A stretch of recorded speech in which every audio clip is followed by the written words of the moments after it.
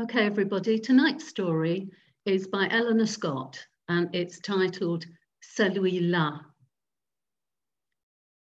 I don't for a moment expect you to take my advice, said Dr. Foster, looking shrewdly at his patient, but I'll give it all the same. It's this.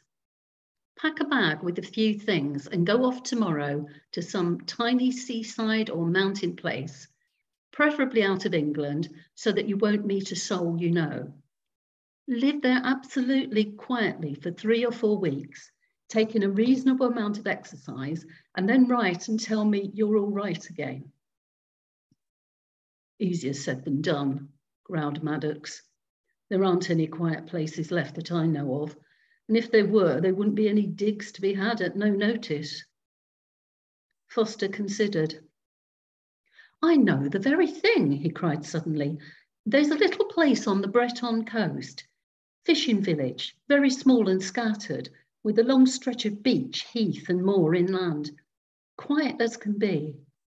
I happen to know the curé there quite, well, fairly well, and he's an extremely decent, homely little chap. Vettier, his name is. He'd take you in. I'll write to him tonight. After that, Maddox couldn't in decency hold out. Old Foster had been very good, really, over the whole thing. Beside, it was nearly as much bother to fight him as it was to go. In less than a week, Maddox was on his way to Kerouac. Foster saw him off with relief. He knew Maddox well and knew that he was suffering from years of overwork and worry. He understood how very repugnant effort of any kind was to him, or thought he did. But in reality, no one can quite understand the state of exasperation or depression that illness can produce in someone else. Yet, as the absurd little train that Maddox took at Lamballe puffed serenely along between tiny rough orchards, the overwrought passenger began to feel soothed. And then, as the line turned north and west, and the cool wind came in from across the dim stretches of moorland, he grew content and almost serene. Dusk had fallen when he got out at the shed that marked the station of Kerouac. The curé, a short, plump man in soutane and broad-brimmed hat, met him with the kind, almost effusive greeting that Breton peasants give to a guest, and conducted the stumbling steps of his visitor to a rough country lane falling steeply downhill between two high, dark banks that smelt of gorse and heather and damp earth. Maddox could just see the level line of sea lying before him, framed by the steep banks of moor on either hand. Above, a few pale stars glimmered in the dim sky. It was very peaceful. Maddox fell into the simple life of the Kerouac Presbytery at once. The curé was, as Foster had said, a very homely, friendly little man, always serene and nearly always busy, for he had a large and scattered flock and took a very real interest in the affairs of each member of it. Also, Maddox gathered, money was none too plentiful, for the curé did all the work of the church himself, even down to the trimming of the grass and shrubs that surrounded the little windswept building. The country also appealed very strongly to the visitor. It was at once desolate and friendly, rough and peaceful.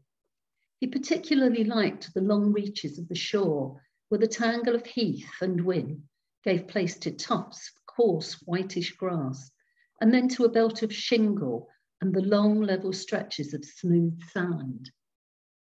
He liked to walk there when evening had fallen, the moorland on his left rising black to the grey sky, the sea smooth and calm, stretching out infinite, infinitely on his right, a shining ripple lifting here and there.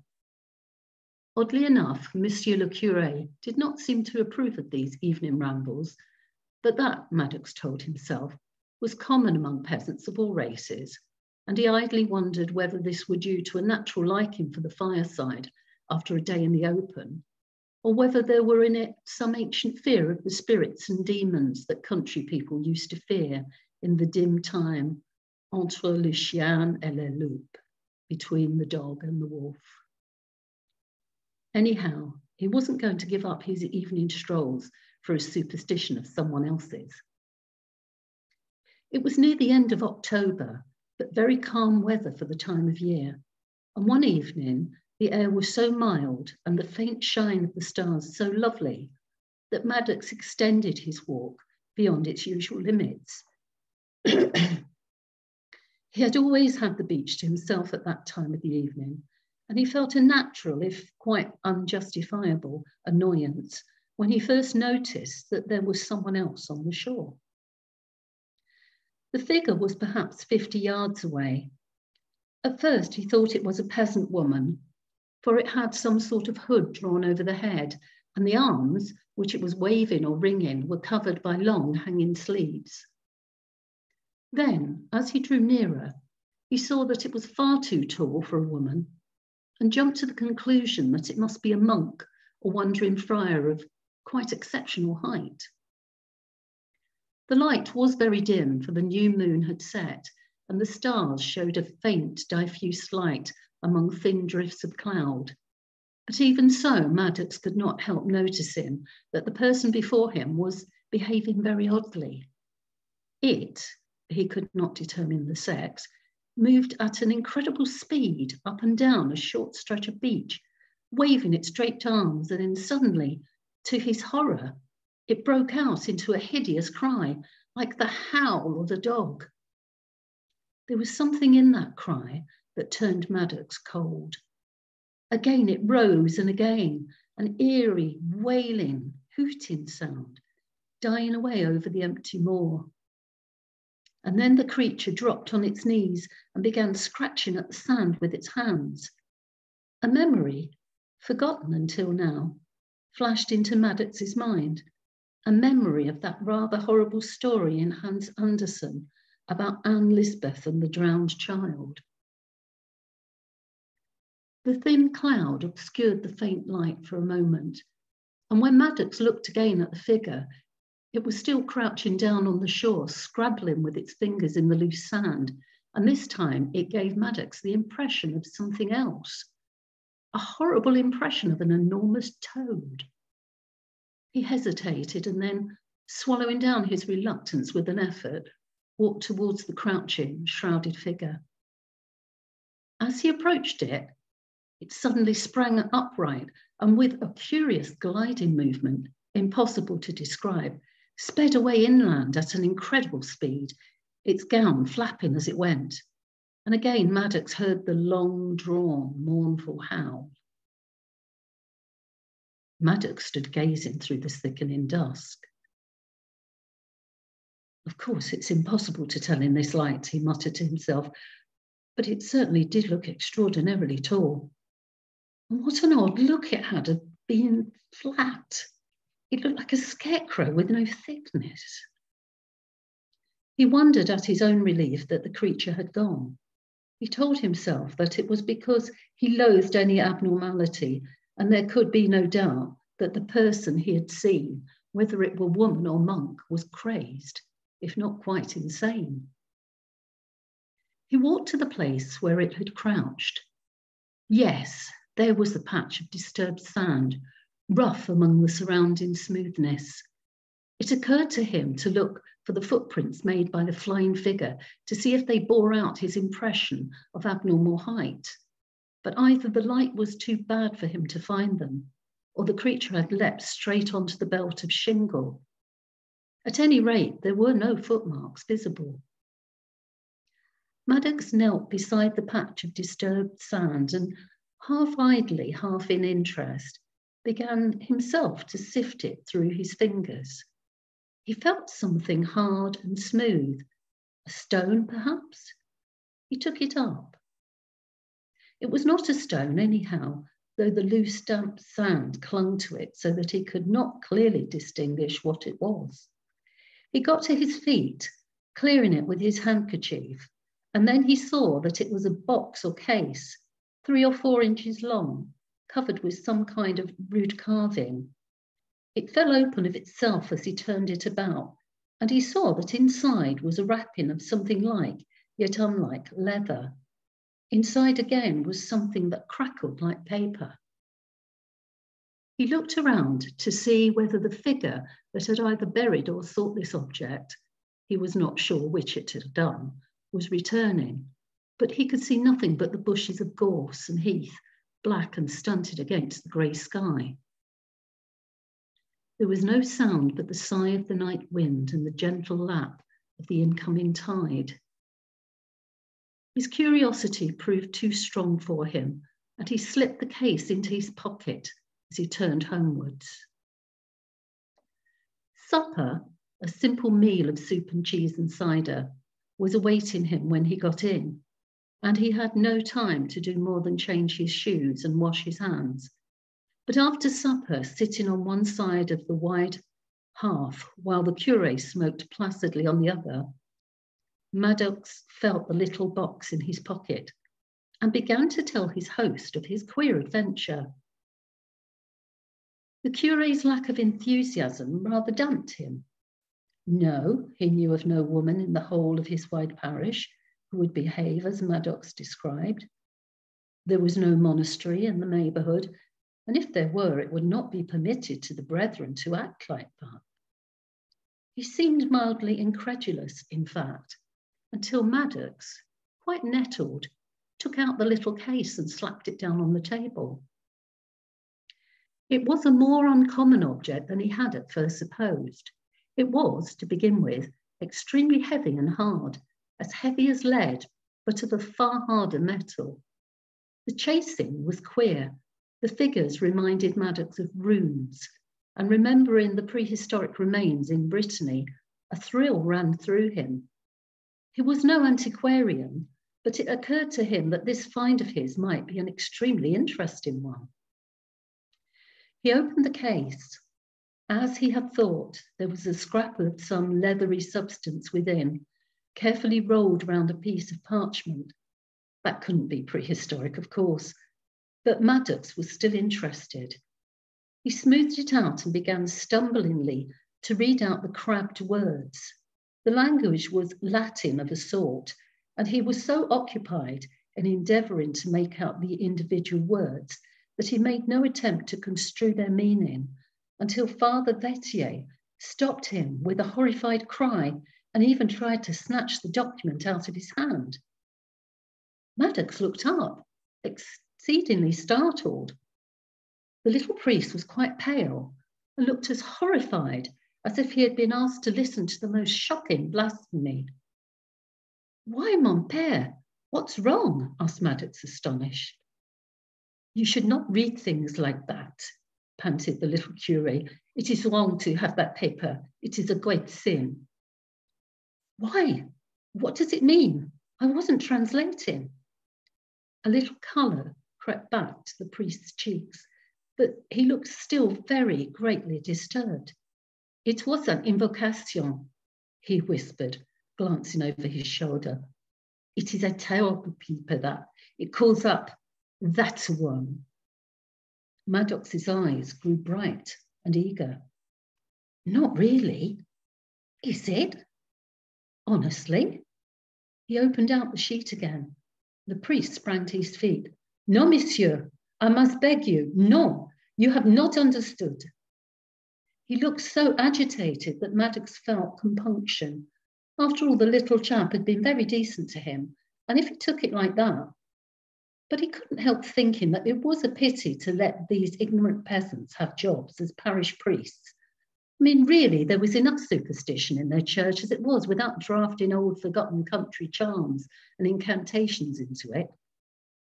A little annoyed, he put the paper back into its case and dropped the whole thing into his pocket. He knew quite well that if the curé got his hands on it, he would have no scruples whatever about destroying the whole thing. That evening did not pass as pleasantly as usual. Maddox felt irritated by the crass ignorance of his companion, and Father Vettier was quite unlike his customary placid self. He seemed nervous, timid even. And Maddox noticed that when the presbytery cat sprang onto the back of her master's chair and rubbed her head silently against his ear, the curé almost sprang out of his seat as he hurriedly crossed himself. The time dragged until Maddox could propose retiring to bed, and long after he had been in his room, he could hear Father Vettier, for the inner walls of the presbytery were mere lath and plaster, whispering prayers and clicking the beads of his rosary. When morning came, Maddox felt rather ashamed of himself for having alarmed the little priest, as he undoubtedly had done. His compunction increased when he saw Father Vettier as he came in from his early mass, for the little man looked quite pale and downcast. Maddox mentally cursed himself. He felt like a man who has distressed a child, and he cast about for some small way of making amends. Halfway through déjeuner, he had an idea. Father, he said, you are making alterations in your church here, are you not? The little man brightened visibly. This, Maddox knew, was his pet hobby. But yes, yes, monsieur, he replied quite eagerly. For some time now I have been at work, now that at last I have enough. Monsignor has given me his blessing.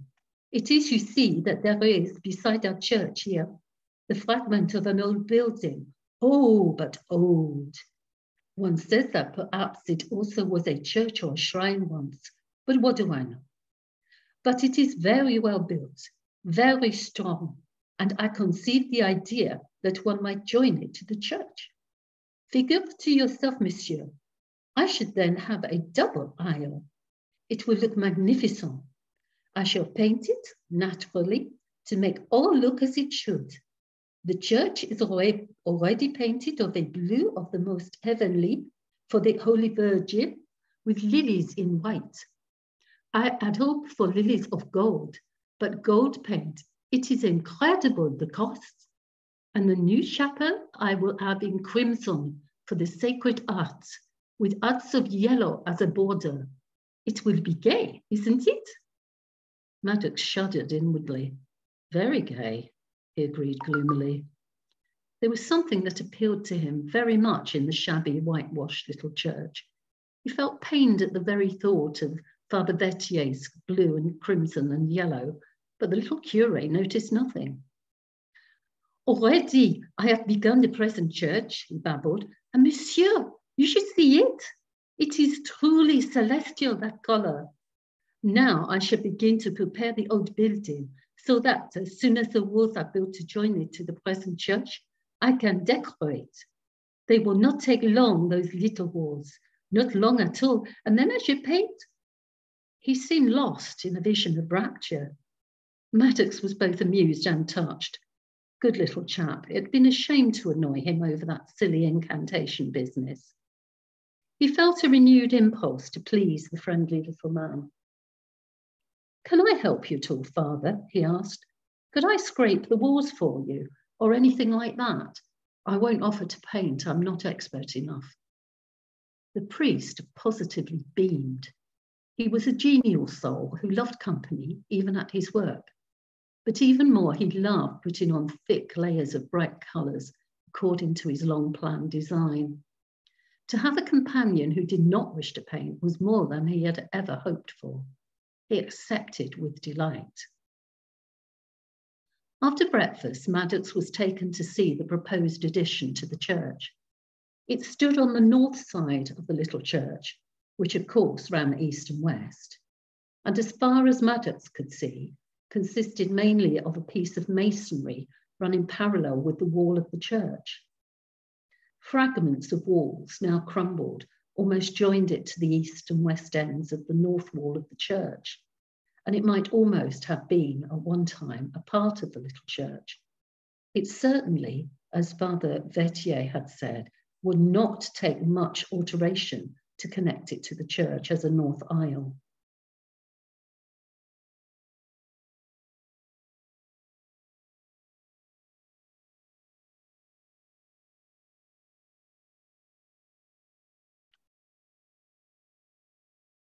Excuse me.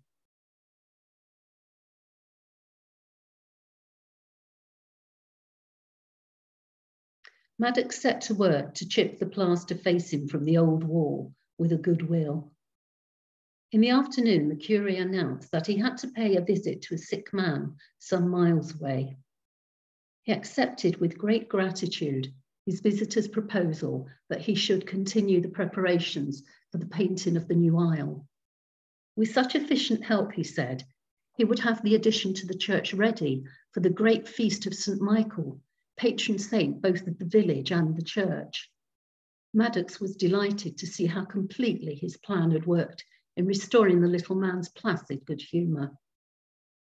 Shortly after two, Maddox went into the churchyard and resumed his labours. He chipped away industriously and was just beginning to find the work pole when he made a discovery that set him chipping again eagerly at the, the coat of plaster, which later hands had daubed thickly on the original wall. There were undoubtedly mural paintings on the portion he had begun to uncover. Soon he had laid bare quite a large stretch and could see that the decoration formed a band, six or seven feet deep, about two feet from the ground, nearly the whole length of the wall. The light was fading and the colours were dim, but Maddox could see enough to interest him extremely. The painting seemed to represent a stretch of the seashore, and though the landscape was treated conventionally, he thought it looked like part of the beach near Kerouac. There were figures in the painting too, and these aroused his excitement, for one at least was familiar. It was a tall shape, hooded, with hanging draperies, the figure he had seen the night before on the beach. Perhaps it was due to the archaic treatment of the picture that this figure gave him the same impression of flatness. The other figure, if it was a figure, was even stranger. It crouched on the ground before the hooded shape, and to Maddox it suggested some rather disgusting animal, a toad or a thick, squat fish. The odd thing was that, although it squatted before the tall figure, it gave the impression of domination. Maddox felt quite thrilled. He peered closely at the painting, endeavouring to make out clearly what it represented. But the short October afternoon was drawing in fast, and beyond his first impression, he could gather very little. He noticed that there was one unexpected feature in the otherwise half familiar landscape a hillock or pile of large stones or rocks on one side of which he could just make out words or fragments of words. Qui piact venir, he read in one place, and lower down, celui qui est custera et qui viendra, sacri mes pondu. There was also some vague object, a pile of seaweed, Maddox thought, lying heaped below the hillock. Little though he knew either of art or archaeology, Maddox was keenly interested by this discovery. He felt sure that this queer painting must represent some local legend or superstition. And it was very odd that he should have seen, or thought he had seen, that figure on the beach before he had discovered the mural painting. There could be no doubt that he had seen it, that it was no mere fancy of his tired mind, there was the box and the incantation or whatever it was in his pocket to prove. And that gave him an idea. It would be extremely interesting if he should find that the old French words on the mural painting and the Latin words on the parchment in any way corresponded. He took the little metal case from his pocket and opened it. Clamabo et exaudiet me, I will call and he will hear. That might be any prayer. Sounds rather like a psalm.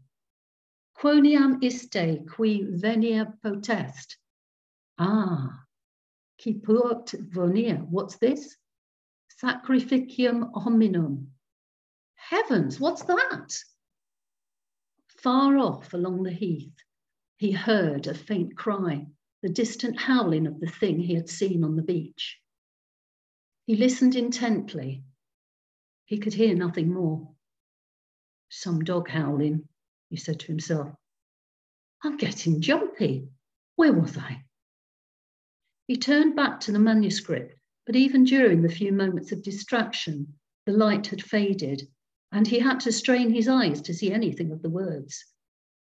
A paludinis ubi est habitulacum tuum ego te convoco, he read slowly aloud, spelling out the worn writing. I don't think there's anything in the painting to correspond with that. How odd it is. From the marshes where thy dwelling is, I call thee. Why from the marshes, I wonder? A paludinis ubi est habitulacum tuum ego te convoco. He broke off abruptly Again, there came that dreadful howl, and it certainly was not the howl of a dog. It was quite close. Maddox did not stop to consider. He leapt up, ran through the yard into the presbytery, and locked the door behind him. He went to the front door and locked that too, and he bolted every window in the tiny house. Then, and not till then, did he pause to wonder at his own precipitate flight he was trembling violently, his breath coming in painful gasps. He told himself that he had acted like a hysterical old maid, like a schoolgirl, and yet he could not bring himself to open a window. He went into the little sitting room and made up the fire to an unwanted size. Then he tried to take an interest in Father Vettier's library of devotional books until the little cure himself should return. He was nervous and uneasy. It seemed to him that he could hear some creature, he told himself that it must be a large dog or perhaps a goat, snuffling about the walls and under the door. He was inexpressibly relieved when at last he heard the short, decided step of the curé coming up the path to the house. Maddox was restless that night. He had short, heavy snatches of sleep in which he was haunted by dreams of pursuit by that flat hooded being. And once he woke with a strangled cry and a cold shudder of disgust from the dream that, in his flight, he had stumbled and fallen face down on something soft and cold which moved beneath him a mass of toads. He lay awake for a long time after that dream, but he eventually slipped into a drowsy state, half waking and half sleeping, in which he had an uncomfortable impression that he was not alone in the room, that something was breathing close beside him, moving about in a fumbling, stealthy way. And his nerves were so overwrought that he simply had not the courage to put out a hand and feel for the matches, lest his fingers should close on something else. He did not try to imagine what. Towards dawn, he fell into an uneasy doze and awoke with a start. Some sound had awakened him. A melancholy howling cry rang in his ears. But whether it had actually sounded, or whether it was part of his memories and evil dreams, he could not tell. He looked ill and worn at breakfast and gave his bad night as an excuse for failing to continue his work on the old wall. He spent a wretched, moping day he could settle to nothing indoors. At last, tempted by the mellow October sun, he decided to go for a brisk, short walk. He would return about dusk. He was quite firm about that, and he would avoid the lonely reaches of the shore. The afternoon was delicious, the rich scent of the gorse and heather, warm in the sun, and the cool touch from the sea that just freshened the breeze soothed and calmed Maddox wonderfully. He had almost forgotten his terrors of the night before. At least he was able to push them into a back corner of his mind. He turned homewards contentedly. Even in his new calm, he was not going to be out after sundown. When his eyes happened to fall on the white road where the declining sun threw his shadow, long and thin, before him, as he saw that shadow, his heart gave a sudden heavy thud, for a second shadow walked beside his own. He spun round. No mortal creature was in sight. The road stretched empty behind him, and on either hand the moorland spread its breast to the white sky. He ran to the presbytery like a hunted thing. That evening, Father Vettier ventured to speak to him. Monsieur, he said rather timidly, I do not wish to intrude myself into your affairs. That understands itself. But I have promised my very good friend, Monsieur Foster, that I will take care of you. You are not a Catholic, I know, but will you wear this? As he spoke, he took from his own neck a thin silver chain to which was attached a little medal, black with age, and held it out to his guest. Thank you, father, said Maddox simply, slipping the chain about his neck. Ah, that is well, said the little cure with satisfaction. And now, monsieur, I venture to ask you, will you let me change your room? I have one, not as good as yours, I admit it, but which has in it a small opening into the church. You will perhaps repose yourself the better there. You will permit? With the greatest pleasure, said Maddox fervently. You are very kind to me, father. The little man patted his hand. It is that I like you very much, monsieur, he said naively, and I am not altogether a fool. We of Brittany see much that we do not look at and hear much to which we do not listen. Father, said Maddox awkwardly, I want to ask you something. When I began to read out that paper, you remember? The cure nodded uneasily. You said that it was an invocation, that it summoned celui-là. Did you mean the, the devil? No, my son, I, uh, I cannot tell you. It has no name with us of Kerouac. We say simply celui-là. You will not, if you please, speak of it again. It is not good to speak of it. No, I can imagine it isn't, said Maddox, and the conversation dropped. Maddox certainly slept better that night. In the morning, he told himself that this might be for more than one reason. The bed might be more comfortable, Whoops. But he knew that it was not that. Or he might have overtired himself the day before. Or the little cure's offerings might somehow have given him a kind of impression of safety and protection without really having the least power to guard him. His feeling of security increased when the priest announced, Tomorrow we have another guest, monsieur, Miss, Monsieur Foster, has done me the honor to accept my invitation for a visit. Foster, really? Excellent, cried Maddox. He felt that the doctor stood for science and civilization and sanity and all the comfortable, reassuring things of life that were so utterly lacking in the desolate wilderness of Kerouac. Sure enough, Foster came next day and was just as stolid and ugly and completely reassuring as Maddox had hoped he would be and half feared he would not. He seemed to be ignoring his friend's physical condition at first, but on the day after his arrival, he got to business. Maddox, I don't know how you expect to get fit again, he said. You came here for the air as much as anything. I said you were to take moderate exercise, yet here you stick, moping about this poky little house. Needless to say, Father Vettier was not present when this conversation took place.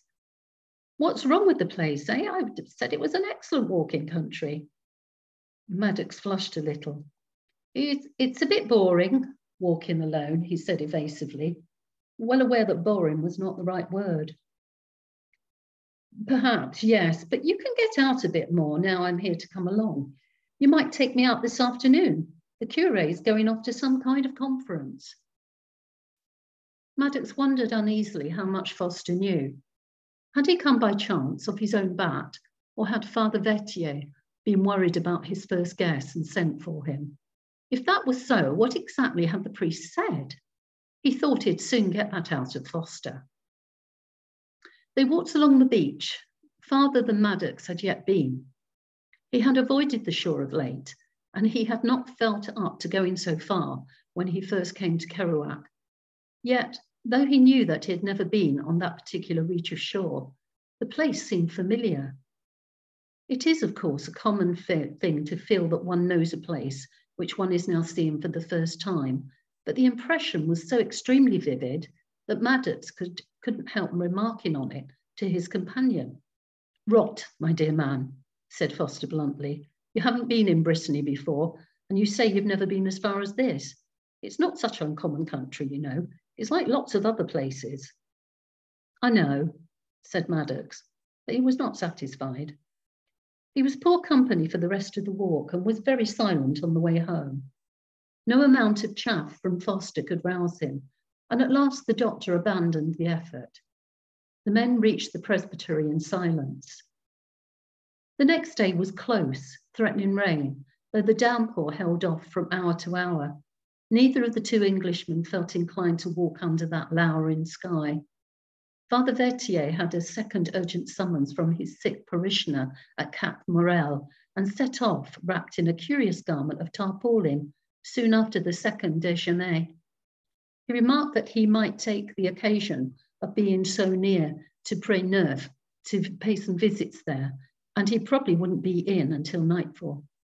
If Monsieur should feel disposed, he said rather shyly to Maddox before he left. Monsieur Foster might be interested to see the alterations I propose for the church. He has taste, Monsieur Foster. It might amuse him. He was so clearly keen to display his decorations and yet a little afraid of appearing vain if he showed them himself that Maddox smiled. I'm sure he'd like to see them, he said gently. Yet, though he could have given no possible reason for it, for it, he felt strongly disinclined to go near that half-ruined wall with its stretch of painting only half displayed. He knew it was absurd. He had worked there till he was tired. He had been startled by the howling of a dog. That was all. No doubt, when he came to look at it again, he would find that the fresco was the merest clumsy daub and that his own overwrought nerves together with the uncanny light of the gloaming and the beastly dog, had exaggerated it into something sinister and horrible. He declared to himself that if he had the courage to go and look again, he would simply laugh at himself and his terrors. But at the back of his mind, he knew he would never have gone alone. And it was a mixture of bravado and a kind of hope that Foster's horse sense would lay his terror for him that finally induced him to propose a visit to the place. Foster was interested, mildly, by what Maddox told him of the painting on the ruined wall. He went out first to the rough little churchyard. Maddox, half reluctantly, went to fetch down the little case he had picked up on the beach in order that Foster might, with his own eyes, compare the two inscriptions. And when he did go out to join his friend, he could hardly, bring himself to go over to the wall he'd worked on. It took quite an effort to force his feet over to it. The decoration was not quite as he'd remembered it. The figures were so indistinct and faint that they were hardly visible. In fact, Maddox could well believe that a stranger would not recognize the daub as representing figures at all. His relief at this discovery was quite absurd. He felt as if an immense and crushing weight had been lifted from his spirit and his first anxiety over, he, he bent to examine the rest of the painting more attentively. That was nearly exactly as he remembered it the pile of stones with the half illegible words, the tumbled huddle of seaweed or rags lying before it, the long reach of shore. Ah, that was it. Foster, come and look here, he said. Where? asked the doctor, strolling over. Look, this fresco, or whatever it is, I said that bit of shore we saw yesterday was familiar. This is where I saw it. Hmm, might be. All very much alike, though, this part of the beach. I don't see anything to get worked up about. Oh, if you're going to take that line, cried Maddox, exasperated. You doctors are all alike. Keep calm, don't get excited, nothing to worry about.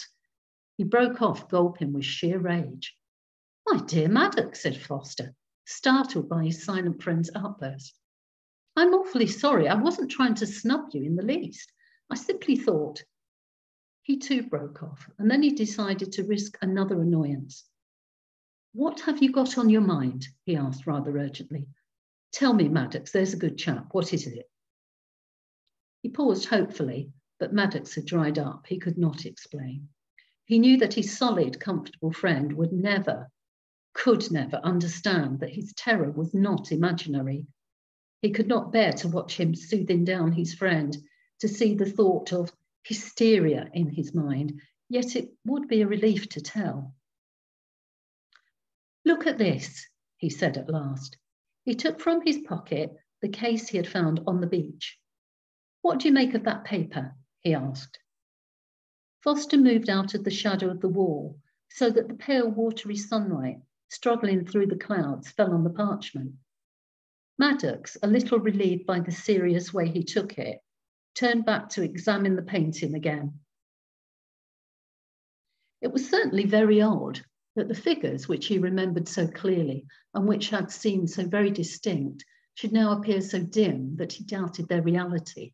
They seemed even fainter now than when they had when he looked at them a few minutes ago.